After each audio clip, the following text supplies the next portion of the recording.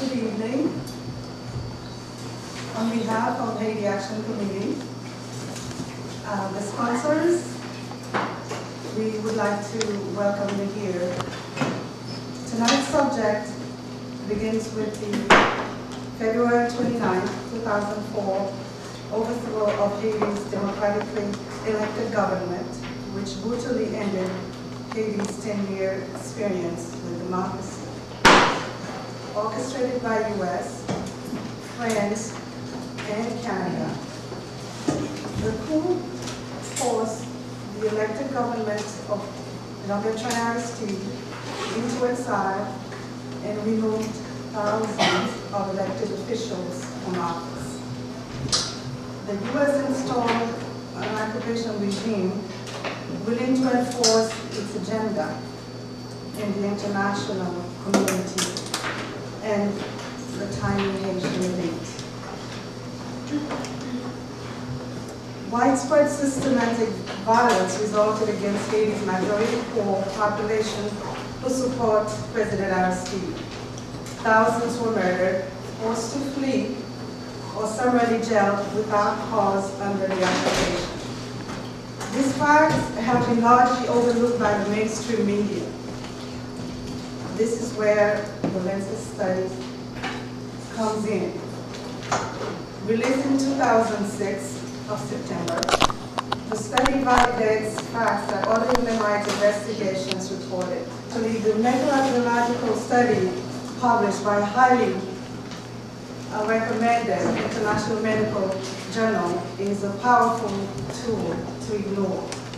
The study exposed that thousands of people were murdered in Haiti, in, in Port-au-Prince, the capital city of Haiti, in the 22-month period after the peace. The study exposed previously unknown facts about the impact of the coup on Haitian women and children in the popular neighborhoods. 35,000 women and girls were sexually assaulted in Haiti's capital city during the 22 months period. That is why we are here tonight. According to the UN report on violence against women, rape is the, is the least condemned war crime, even though rape of thousands of women and children has happened throughout history during war. Maybe because it is so common, rape has tra traditionally been accepted as, as incidental to war. But women in Haiti and around the world have struggled to, to expose rape during war and conflict as a systematic tool of repression. They have forced the issue onto the international human rights agenda. Since 1991, rape has been recognized as a human rights violation, as torture, and as a war crime. Tonight, our speakers will set the record straight about the terror the U.S. the U.S. unleashed against the Haitian population, especially women and children, about the ongoing UN and the U.S. occupation, and also the resilience of the struggle of the Haitian people for democracy. And to begin, we are going to have our first speaker, who is a Haitian born and who is uh, also a Haitian activist and who is the co-founder of Haiti Action Committee. And I know most of you here know who he is, and he needs no further introduction. To Pierre Labossiere.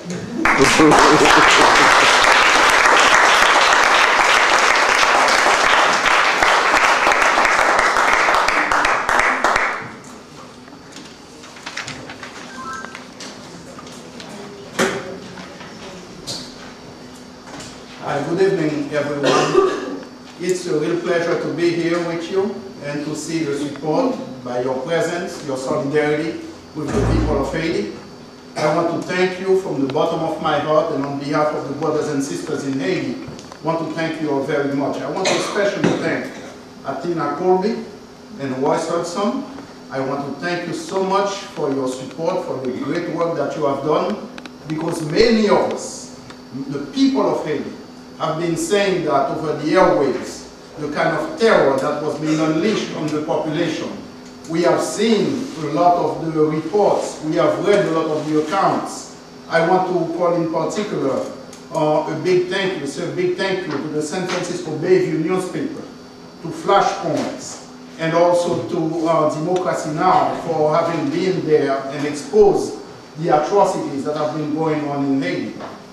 And uh, so people in Haiti, but why is this thing being done to our brothers and to our brothers and sisters in Haiti?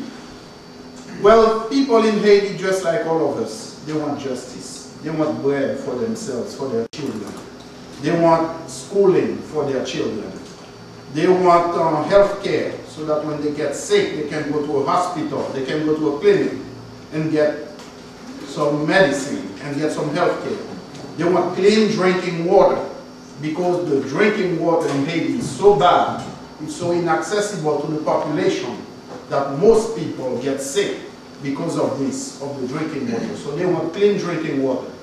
And for this, they chose, they built a movement, organized a movement, and they elected representatives, not just the president, but representatives from their communities and also national office and the office of presidency to represent their interests. And this was the program that was being put in place to move the people, as President Aristide rightly says, from misery, the misery in Haiti, to at least step up to poverty with dignity. Now that doesn't mean we are going to stop there, but at least to get to that level because the conditions in Haiti are so miserable that people wanted to organize this movement. Uh, and I see a representative of KPOO there. Thank you so much, brother, because KPOO in San Francisco has been really one of the one of the organs, one of the media outlets that tell the people of San Francisco the news about what's going on in Haiti. For this, as in many other lands, but tonight we are speaking about Haiti, the people have been at the receiving end of terror by the Haitian elite and their allies abroad, namely the, uh, the US, France, and Canada. Now, when I'm talking about the US, I'm not talking about Europe, you know, about us here. I'm not talking about the Bay Area community either. I'm talking about this little tiny group of self-righteous, zealot, right-wing zealots who think that they can dominate the world and keep people, including people here in the Bay Area, in a state of submission. Uh, so it's the same thing that's going on in Haiti, and that's why it's important for us to be in solidarity. But in Haiti, as we are seeing it today, the repression against our brothers and sisters is terrible. Particularly when we are looking at women, the situation of women. What's happening is by no accident that women have been specifically targeted. Specifically, there has been systematic, systematic rape. That started as a phenomenon that started occurring system-wide, widespread since the coup of 1991.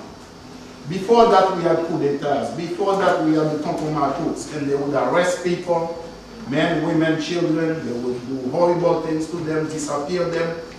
But you didn't have this random, systematic raping of women. It's some brand new that appeared on the political scene in Haiti in 92 following the 91 coup d'etat. And so this is something that was really horrible. Um, many people were, after they were raped, they were, they were killed. Many were not killed, but they are living with tremendous scars. But what did the women do? They organized themselves. They organized into various organizations to talk about what has happened to them. Because generally in our society, in Haitian society, as in everywhere else, someone who's raped, someone who's um, men or women, but women mostly who are raped, you feel unclean. Society looks down on you. It's like somehow it's your fault. But these sisters, the movement in Haiti was strong enough that the women organize themselves and say, no, we are going to get out there. And here I'm thinking of the women's, uh, the women's organization, Favilek. These are a group of women, and it's spelled F-A-V-I-L-E-K. This is a group of women victims of gang rape by the FRAPH Death Squad who actually organized themselves and went all over the country putting on plays in which they themselves acted what had gone on to them and they are acting out how they are fighting back.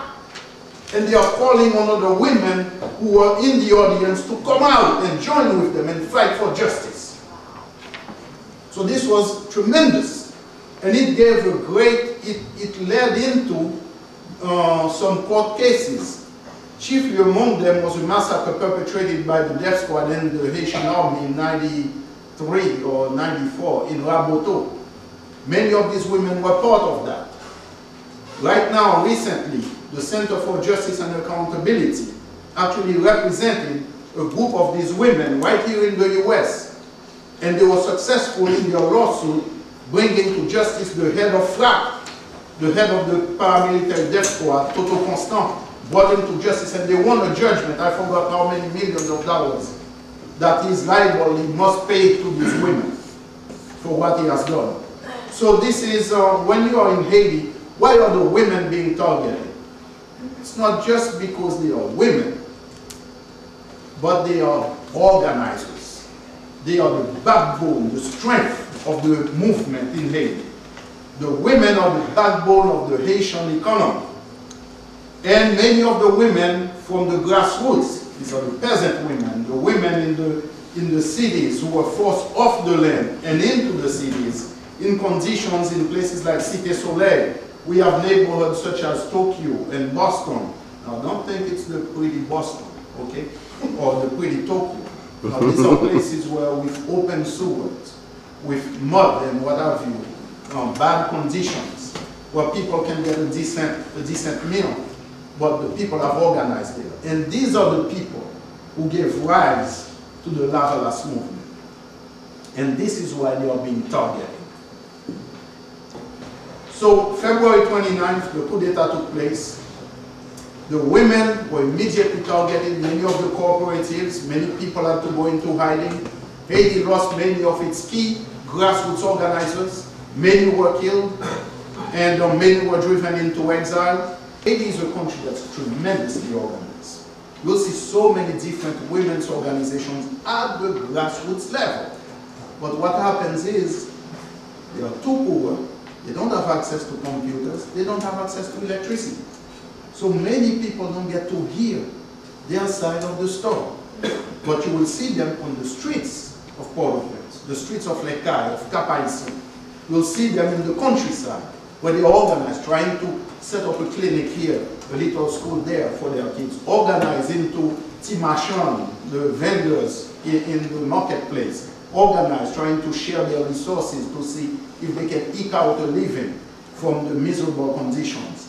That's where you'll find them. And in the organizations, you don't see the organization sending out press releases and going to uh, World Social Forum, uh, you know, at the drop of a hat or attending this meeting or that meeting, simply because they can afford it.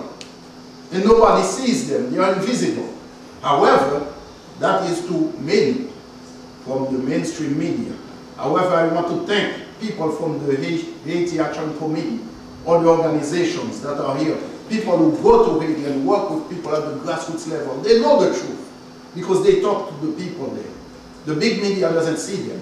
They see these are the, well, these are the women's organizations who speak for the people of Haiti. I'm sorry. When the grassroots women take to the streets in Haiti, they are there by the thousands. When the others who claim to speak for them do a rally, it's, um, eh, it's successful if it has about 80 people. So, you know, um, that's the difference. So we have apartheid in Haiti based on class that is reflected in the way the movement is perceived outside of Haiti. But let me stop right there. Can I just say just a couple words about our speakers and then let them take it from there? Athena Kolbe, a social work research, researcher, came to Wayne University in 2004 after working for nearly a dozen years in, as a journalist for an international news wire agency.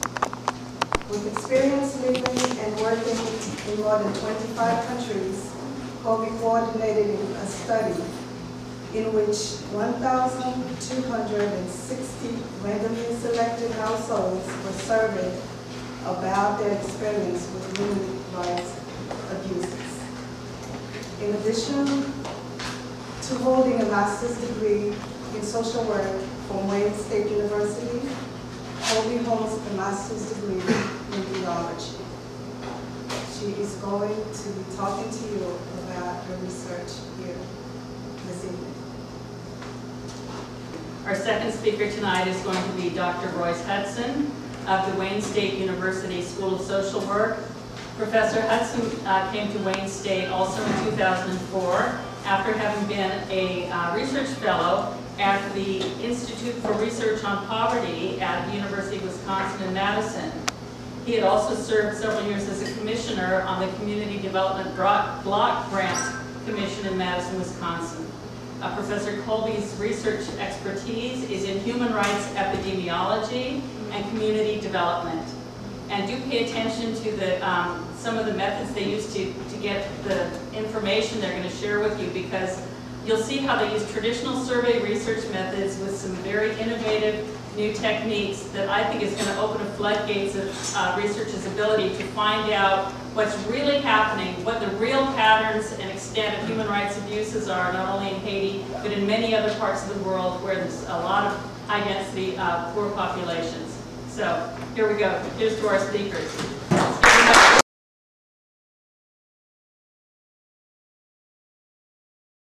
Okay, um, well, my name is Athena Kolbe, and um, I'm just going to go ahead and start, and I'll talk a little bit about why we did this study, and then Dr. Hutson's going to talk a lot about the methodology that we used, and um, some of our findings, and I'll talk more about um, sexual assault.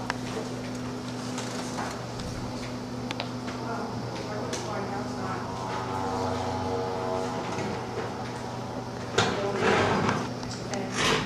Um, Somebody sit behind the PowerPoint and hit spacebar. I know this Okay. All right, so the purpose of our study was basically, as as Pierre explained, there was a revolt by armed rebels which overthrew the elected government of Haiti on February 29, 2004. Um, After that time, um, political actors on both sides accused each other of systematic human rights abuses. Um, These accusations were made in the press, and in, um, they were also made to international bodies like the UN. Um, women subject, reported being subjected to mass rape by political actors like uh, death squads, uh, police, um, UN troops, uh, actually not UN troops at that point, um, troops that were part of the multinational forces. Um, but no reliable estimate on the number of human rights victims or the identity of human rights violators existed. Um, several groups had gone and done um, qualitative studies of the human rights situation. They'd gone and talked a lot to victims um, which is the traditional way of doing human rights studies. You go and you talk to victims and community leaders and advocates and government officials. Um, but unfortunately, with using that method, you can't really estimate the number of victims. And local radio stations reported human rights violations, including sexual violence by UN troops. Uh, we wanted to examine the patterns of perpetration for eight uh, major types of human rights violations. Um, murders, sexual assaults, physical assaults, arbitrary detentions, um, ill- like illegal arrests, um, kidnappings, both by government um, forces and also by paramilitary forces and criminals, um, property crimes such as looting, burning, um, stealing somebody's land deeds, death threats, threats of physical violence, threats of physical violence, and threats of sexual violence. Uh, now this is Royce's turn to step in, so I'll sit behind the computer. So one of the things that made uh, under, carrying out a survey difficult in Haiti, as many may be familiar with, is that the infrastructure in Haiti is such that it's really difficult to ascertain who lives where. One of the reasons is we don't have any census or household listings. Um, Another reason is that there's no, oftentimes no numbers on the households in which to to randomly sample, and many of them don't have telephones or telephone numbers. Um, So it made it very difficult to use traditional survey methodology. So typically what we do is we get a list of addresses, for instance, and then we randomly select a few and, go ahead and interview them. We couldn't do that. And we couldn't do, uh, what's typically when you do a uh, representative sample, representative sample being where you're trying to get generalized to the broader population. Um, oftentimes we do it in what we call a cluster sampling way, which is we essentially oversample sections that have denser populations and undersample those with less dense populations. Um, and we couldn't uh, do that in this particular study. So what we've used um, is this method called random GPS coordinate sampling. Now this type of sampling technique had been used previously in a different form with Les Roberts and his colleagues at uh, Johns Hopkins University for the Iraq study on mortality before, or at, before and after the invasion by U.S. forces. And so, however, in those, in those particular studies, they did have population density maps. And so they could use this cluster sampling thing, but we didn't have that luxury. So what we did was we established boundaries of the greater Port-au-Prince area geographically. Um, and then what we did was we, we generated a list of random GPS coordinate points within those set boundaries. And then we, we did that for about 1,500 points, and then we threw out the points that were uninhabited. So if it was on an airport runway or in the middle of the sea or on a beach or something, we threw those points out and we ended up with roughly about uh, 1,350 or so inhabited points. Um, yeah, so 1,389 valid locations. Uh, 51 refused to participate, and 77 had no adult household members when we went there. We went there up to four times, looking for an adult household member. And then we removed one from the data set, and the one we removed from the data set is because we actually provided medical assistance to this poor woman. She had been raped with a piece of rebar, and we had to immediately evacuate her to a hospital where she subsequently died. Um, so we had 1,260 households that were surveyed with a, uh, what I would say is a very excellent response rate of 90.7%. What that really says to us, because given the sensitive nature of the questions we were asking, imagine asking someone if they had been raped before, it's a very sensitive topic. To have people, you know, respond 90% of the time on such a such questioning, I think, really suggests that they wanted to speak about their experiences with human rights.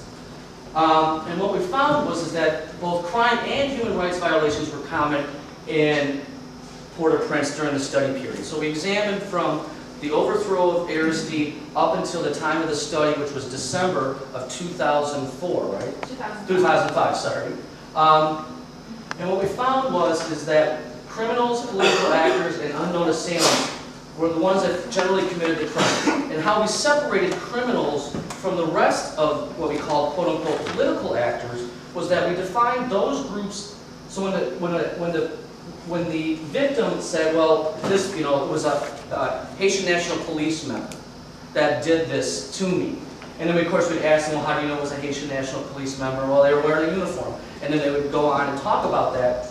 Um, those we considered political actors when they said, well, we didn't know, or it was a you know, random criminal, that's what we decided as criminals, and if they didn't know at all, then they were unknown, and sometimes they wouldn't disclose who did that to them for fear of repercussions. So, in general, before we get to the, the topic of sexual assault, I think it's important to put sort of what's happening in Haiti in context, why these, all these mass rapes are occurring. What we found with regards to uh, homicide is that of all the households we surveyed, 23 said that someone had been murdered. Um, and the most common was through uh, gunfire. Um, also through beatings, torture, knife wounds, and asphyxiation. And there was a, uh, several others that we did this with. Um, so using a technique that is frequently used in epidemiology, we came to a rate of 219 per 100,000 per year number of murders. Well, that number of murder rate uh, is astronomical. If you look at Detroit, Michigan, my hometown where I live, oftentimes people have this vision of how dangerous Detroit may or may not be. It has about a six times the murder rate in Port-au-Prince than there is in Detroit, Michigan. Wow. One of, arguably one of America's most dangerous cities. So we estimated, given this 219 per 100,000 per year, that 8,000 people were murdered during the 22 months of the study. About 12 a day. With regards to physical assaults, uh, we found that 1% of all the individuals we surveyed had been assaulted. Uh, There's the crude rate there, 563 per 100,000 per year. And so about 21,000 people were physically assaulted. And I want to say that these physical assaults were life-threatening physical assaults. So uh, we also, as Athena mentioned earlier, looked at detentions, kidnappings, and arrests. You can see here the crude rate was 343 per 100,000. So we estimated about 13,000 people were arrested by either the HNP or the UN or multinational forces. I think the important thing, oh, can't go back, can we? Um, the important thing about noting about the arrest figures is that 25% of those who were arrested were still in prison at the time of the study. Um, and we found that 22% of the arrests were preventative detention. And in preventative detention, what we mean is oftentimes it's juveniles who are arrested without having committed a crime in the purpose to prevent crime, essentially. Um, and of all the arrests that we detected, only one had seen a judge in the 48 hours as stipulated by the Haitian Constitution. With regards to political affiliations, because what we did is we looked at if whether particular people were targeted for uh, human rights violations. And one of the things that I don't think people understand really is, you know, given the sort of the cacophony with the cacophony, if you will, in uh, the media about who supports whom, you can see here what the political landscape in Haiti is. Over, well over half is either a Lavalas or Lespwa party, a supporter. Uh, you see here 27.1% says no political affiliation. We believe personally that probably is a result of fear of repercussion or not trusting the interviewers. Um, you can see there is 7.9% were another party, which is a slew of, and then missing or refused was 4%. And so if you look at who gets murdered by party affiliation, you notice that if you were not part of a particular party, you were 10 times less likely to be murdered. So people that were getting murdered in Haiti were party members of some particular party. And a large proportion of them, as you can see here, 87%, were either Lavalas or Lespwa party members. So of all the people that were murdered, 87% were members of those two political parties. Again, with arrests, you see that um, Lavalas and Lespwa were three and a half times more likely to be arrested than anyone else in a political party or those who were not part of any political party. And they made up roughly about 86% of all the people that were arrested during the time period examined. Okay.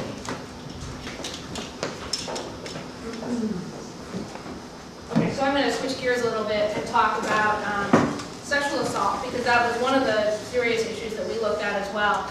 Um, but before I talk about that, I want to talk a little bit about um, what we mean when we say sexual assault and what we're talking about when people say mass rape, and they throw around this term mass rape a lot when they're talking about the situation in Haiti. So um, I think it's important as people who oppose mass rape, which I hope everybody here opposes rape, that um, we understand a little bit about some of the background and the literature and the research that's been done on that. So mass rape is basically rape during any armed conflict can be considered collective or mass rape, which are the two, are, two terms are interchangeable, if it's used as a weapon of war. Um, it need not be directly ordered by paramilitary, military, or government leader to be considered um, collective or mass rape. Um, rather, mass rapes are patterns of abuse directed at the population as a form of or in concert with a campaign of systematic or widespread repression.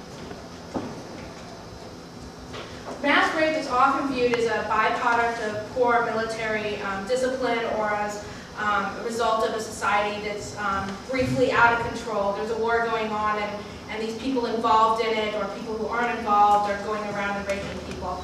But um, recent research, um, particularly research on the situation in Bosnia and Rwanda, indicates that in fact mass rape is, is often politically motivated and it's used as a method of suppressing political dissent during times of um, political dissent during times of um, unrest and armed conflict.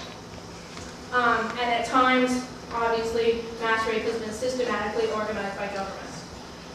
Historically, mass rape um, has been viewed as an attack on men's armor. Um, we're going in, we're taking their land, and we're raping their women, something like that.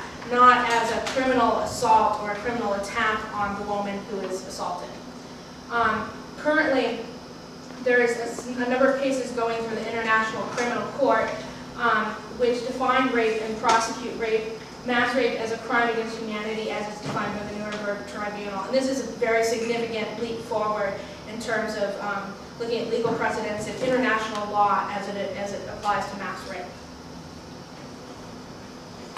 Um, the Istanbul Protocol for Documenting Torture was one of the documents that we used for um, shaping our survey instrument, the, the survey that we use to interview people. Um, the Istanbul Protocol has a whole section on um, defining mass rape and defining um, acts that occur within sexual assaults as they relate to sexual um, torture and also um, mass rape and rape during times of war.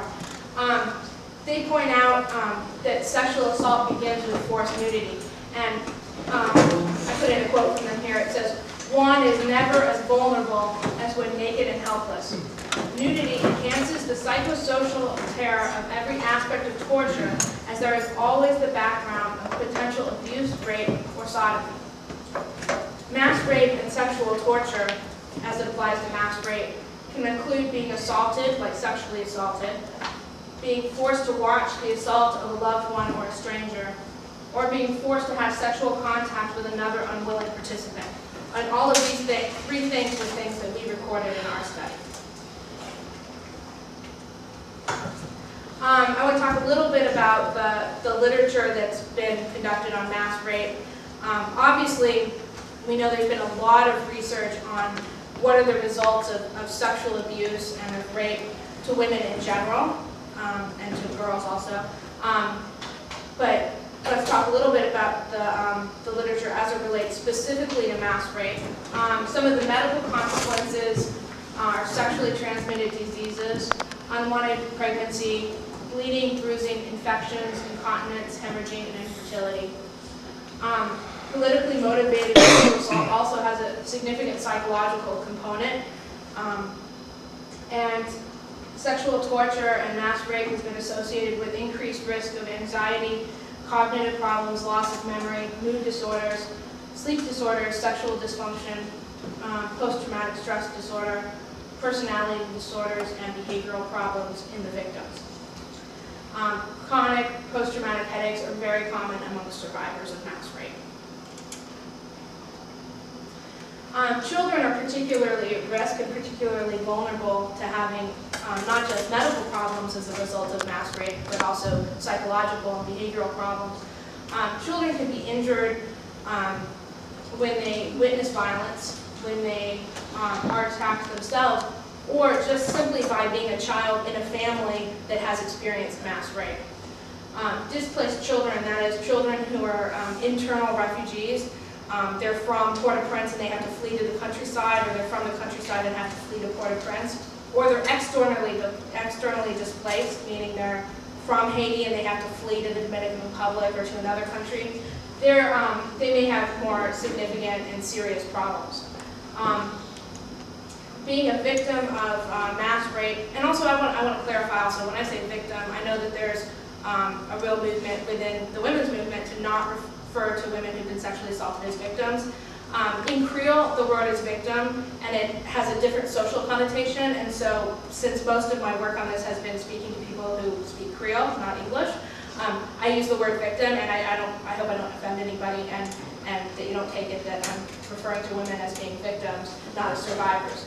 Um, there's, um, oh, um, there's an increased um, risk if you experience this uh, mass rate for social problems, developmental regression.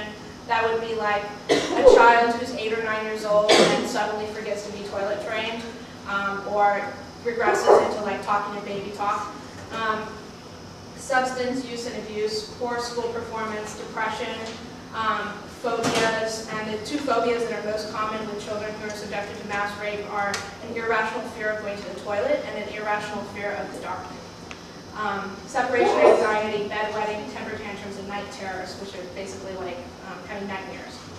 Um, adolescent victims may undergo a profound personality transformation. This includes increased risk taking, taking and antisocial behavior.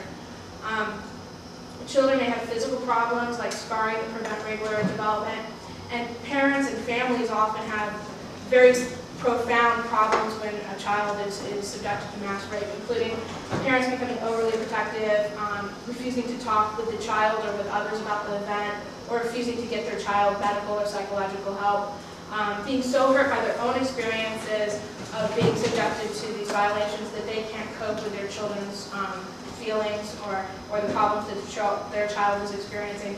And the continued violence within the family, there's uh, increased risk of having intra-family violence after experiencing mass rape. The continued violence within the family or within society in general can prevent the family from ever healing and moving on.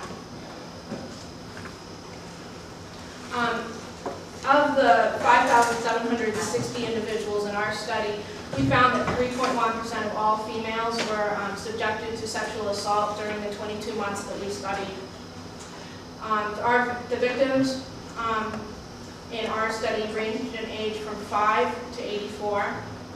The majority of the assaults included penetration.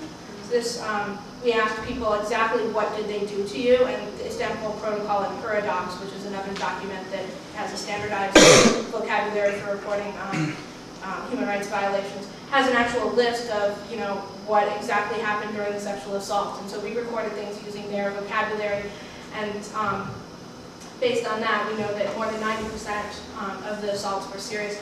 Many of these sexual assaults included multiple perpetrators, um, and sometimes people were mul- raped multiple times, or maybe multiple victims within one household were sexually assaulted. Um, The crude sexual assault rate is uh, 1,698 per 100,000 um, females per year, and we're estimating that 35,000 women and girls were assaulted during the study period. Um, children were particularly at risk for sexual assault. As you can see, um, 4.6% of all the girls in the sample were sexually assaulted, and we're estimating that 19,000 girls were sexually assaulted during the study period. What's the age? What age? Um, the, the youngest girl was five years old at the time of the attack, six years old when we did the study, but she was five when she was sexually assaulted. Um, and the oldest child was eight, or was, you know, 17. So That was the definition Yeah, of girl. That's how, that's we defined it, was five to seventeen. Um, Restaveks, who are girls who work as unpaid domestic servants, they're usually from the countryside, um, and they get sent to the city to live with other families, not necessarily wealthy families, but just other families, and they work in exchange for room and board. Um, they had a higher sexual, percent of the sexual assault victims in our study were Restaveks. Um, the crude rate for um, Restaveks was 5,209 per 100,000 Restaveks per, per year, we estimated that there were several hundred thousand Restaveks in Port-au-Prince alone. Um, compared to other girls, um, Restaveks were 4.5 times more likely to be sexually assaulted. The most common perpetrators for sexual assault were criminals. And um, this is probably understandable to those of us who were in Haiti right after the overthrow of Aristide because one of the first things that the, um, the forces involved in his ouster did is that they broke um, all the people out of the national penitentiary and thousands of criminals were let loose, um, which increased crime and insecurity throughout Port-au-Prince. It was a pretty scary time to be there. Um, and so, um, you know, more than half of, of the perpetrators that were named in the sexual assaults were in fact criminals. Uh, police officers were named in nearly 14% of the sexual assaults as well. Um, another group that was named as responsible for some of the sexual assaults were um, anti-law paramilitaries. These included ex-soldiers from the demobilized Haitian Army. The Haitian Army was um, decommissioned and demobilized in 1995 after they were um, accused of committing numerous human rights um, violations during their first coup against Aristide. Um, it also included private militias, which are like a private army that's hired by a wealthy family to protect their interests, both their property and their business, and, and protect their interests um, as well. And then the rebel front, which were the people that came over, the Haitians that trained in the Dominican Republic and then came back over and did the coup against the elected government in 2004. And these included, as, um, they included and were led by ex-soldiers from the um, demobilized army. and then also armed anti-Lavalas groups such as Lame Ti Manchèt, which is the Little Machete Army, which is sort of a armed paramilitary group that's based in Port-au-Prince. These groups accounted for nearly 14% of sexual assaults during our study period. Um, so looking at, at the, the household party affiliation of, of the um, people who were victimized, and, and when we asked household party affiliation, we asked the respondent, the person we interviewed. So since most of the victims were children, they themselves were, not affiliated with a party, obviously, because children, you know, a five-year-old isn't necessarily political. Um, but this is the political party affiliation of the adult in their household that we interviewed. Um, nearly three quarters were um, from households affiliated with Lavalas or Les Poix. But this isn't statistically significant because the vast majority of Haitian families are either La Lavalas, Les Poix, or unaffiliated. So um, we did find that they were a large number of victims, but um, it isn't significant statistically. Um, some of the limitations of our study is that we only interviewed people in Port-au-Prince, and we know that there were a lot of human rights violations including mass rape, which occurred in the countryside, and that people who lived in Port-au-Prince and then fled to the countryside wouldn't have been included in our study, and people who um, experienced violations in the countryside and never moved to Port-au-Prince wouldn't be included in our study either. Um, respondents reported um, only on violations to other household members and themselves, but they might not have been aware. For instance, if we interviewed a male household member, he might not have been told um, by the female household members that she had experienced sexual assault. Um, we, we didn't get any outside verification of the claims.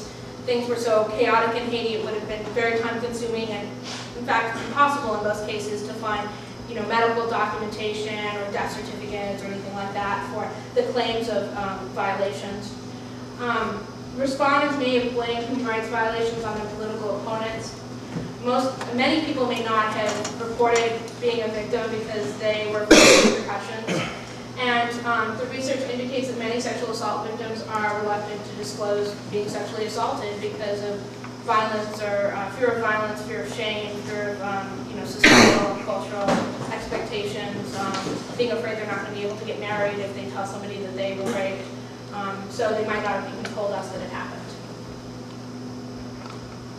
Um, our conclusions were that obviously the human rights violations and crime were very common in Haiti during the time that we studied. Um, the claims of systematic rights abuses against various political groups are only partially supported by our study. Um, we think that one of the biggest things Haiti needs right now is a responsive um, judicial system. The people who committed human rights crimes need to be held responsible legally. They need to um, be arrested and be prosecuted, and the victims need to have a forum in court to go and tell their stories about what happened and to feel like um, that the people who did this to them can be held accountable. Um, the police officers who committed crimes should be removed and prosecuted. There shouldn't be this impunity for people, for police officers who are involved in human rights violations, even if the human rights violations took place while they were on duty. Um, there, there's a serious need in Haiti to develop services to meet the medical, psychological, and economic needs of survivors. And one of the big things that I think Haiti needs is there's been a push internationally for, from the international community is um, really pushing um, Preval, the new administration, and, and Haiti in general to move on and sort of to have this class reconciliation and to forgive the other side and to sort of just move on. Um, and, and while we, we definitely agreed for the need for, for reconciliation, we also believe that um, there needs to be truth with reconciliation, that those who um, committed human rights violations, um, there's, the stories need to be told, um, they need to be called out, they need to be forced to accept responsibility for what they did, um, and there needs to be a climate where the truth about what took place isn't buried in the name of reconciliation, but rather that the truth can actually be exposed about what took place during the time of the interim government. So Royce and I are up here, we'll, we'll take questions. Oh, I think we have another announcement before we do questions. Thank you. Those of us who've been to Haiti, many, many of you in the audience have been there, you know that a few dollars can go a long way. And because of so much of the ongoing turmoil, um, it's really difficult for people to eke out a living. Another thing that's really important about getting the word out and showing support to the women, and you may get it and hear some of this in the Q and A period. Um, I was speaking with Athena the other day, and, and Royce also confirmed this. They were in Haiti last summer, right before the study was released, and offered to speak to lots of different groups in Haiti. And that none of the UN personnel, none, wanted to talk to them about this. Now here, this is a study that's coming out of one of the most prestigious medical journals in the world, peer reviewed, and it's talking about a subject that supposedly the UN is very interested in, right? That none of them would talk to them about it, so it's pretty significant um, that we show support where we can, and you're going to hear also at the end of the Q and A, um, some more opportunities for action. In fact, I think this is being handed out, uh, some action alerts about people that you can contact, both here and in Haiti, to let them know, um, we're watching, we're aware of this, we, we need to have this change, we need to have an end of the impunity, and, uh, the Haitian people need to have an opportunity to take care of themselves. Uh, yes. How do you negotiate being white American academics representing Haitian community? Um, well, actually, I don't think that I represent Haitian women. I think that our research actually lets Haitian women represent themselves. Um, because what we did is we went and talked to them, gave them a chance to tell their stories about what happened. Um, one of the challenging things was being there and being white. Um, I speak Creole, but not, um, that doesn't, you know, make me Haitian. And, um, the majority, well, actually, all of our research team except for me was Haitian. So, and about half of them were women. So, um, that made doing the research a little bit easier because people felt more comfortable, obviously, talking to somebody who's Haitian. And I think that women probably, and I'm speaking just from my own experience as a woman, but women probably felt more comfortable telling their stories to other women. Um, but I think that part of the challenge is that um, there needs to be more of a forum for women who've experienced this to speak out. It needs to be not just us, but it means there needs to be more people hearing their voices and more opportunities for them to talk about what them. Um, so that it's not just us and the Lancet saying, you know, this happened, but also that the women who experienced it have a place to say that too. And they're really isn't that kind of forum internationally right now. Within Haiti, radio is really the medium that's been around the pulse of the population. And on the radio, you'll sometimes hear women um, be interviewed or talk about being experiencing mass rape, but you don't really hear that when you're talking about Haiti outside of Haiti.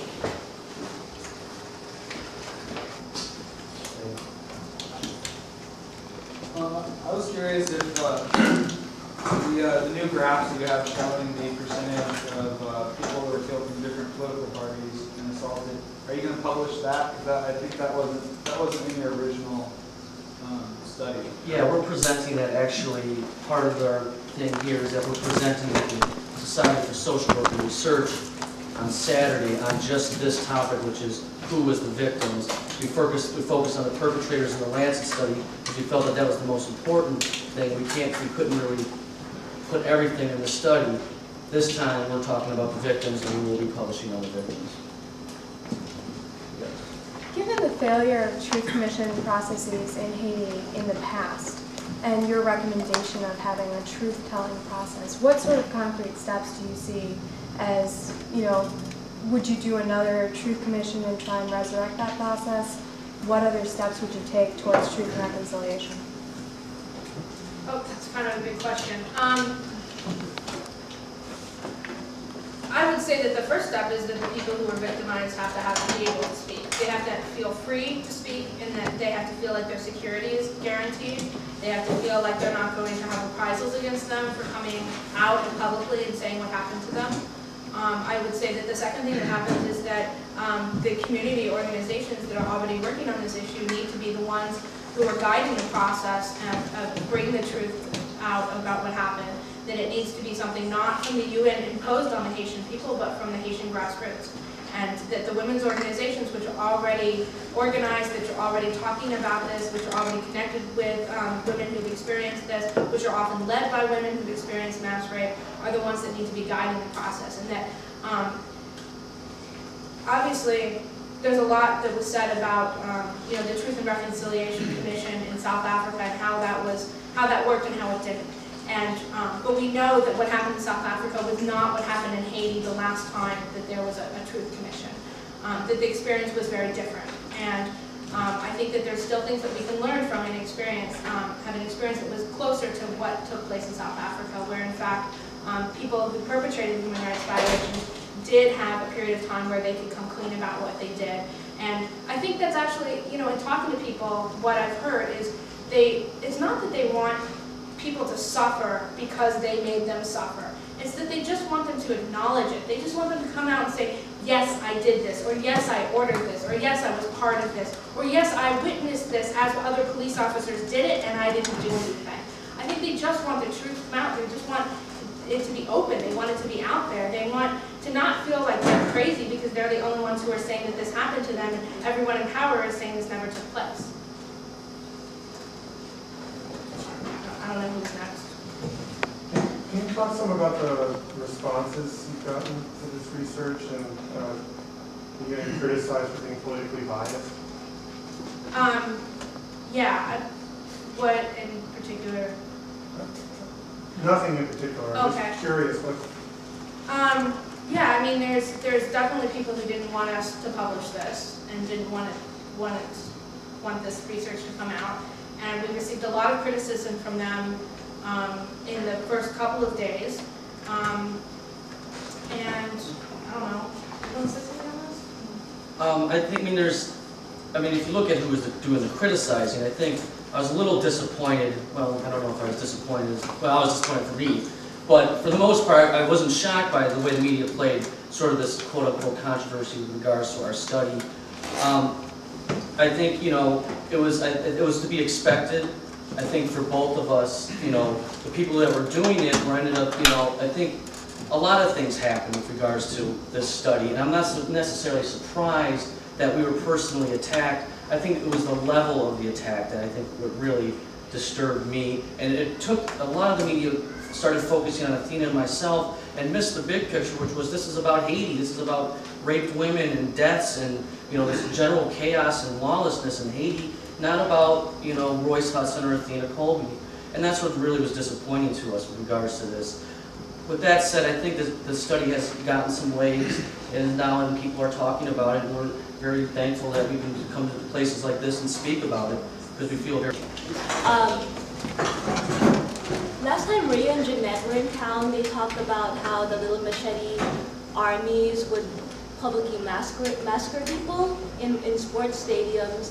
Um, can you talk more about what the women's movement in Haiti is doing in response and resistance to these mass rapes and how the international feminist community can respond and support? Um, the incident that you're referring to took place in August of 2005, right? And it was, there were two massacres that took place, one at a soccer match, the soccer match, match for peace, which was sponsored by the United Nations. And, um, in that, a group of people from the Little Machete Army, um, who were seen previously, a couple hours earlier, at a police station receiving weapons, machetes, obviously, from a police officer or something, um, then went in and in full view, like there were like cameras running, it was like on TV or on the radio or something, and the UN officials were there, went in and assassinated um, some people um, and kind of like terrorized this crowd of people that were there watching this soccer match.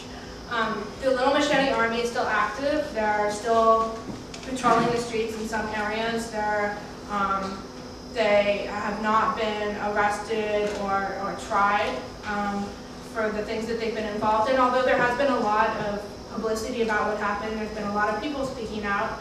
Um, in terms of the um, women's organizations, the ones that are connected, that have the resources to be connected with the international women's movement tend to be ones that are not exactly representative, not necessarily representative of the grassroots. They tend to be more middle-class women's groups that have some more resources and thus might not necessarily reflect the experiences of women who've experienced mass rape.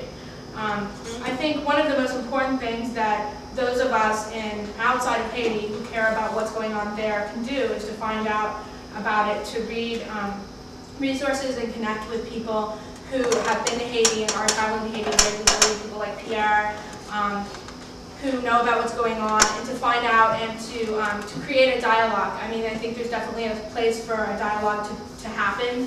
Um, and that there's a lot that I think that the international women's community um, can learn from the Haitian women who are working on the grassroots and, and trying to combat this like with very little resources in terms of creating a culture where um, mass rape is unacceptable and where it should be opposed. So um, why, why do some kind of mainstream NGOs, international um, um, NGOs working in Haiti on some issues and not working on this problem of, of rape? I mean, I think there's a lot of issues here and people that have connections with some of these organizations or that feel like they have the, chutzpah and want to go and talk to the UN. I think that they, there's definitely a role and a place for people to go and say to the UN, why aren't you doing anything about this problem in Haiti?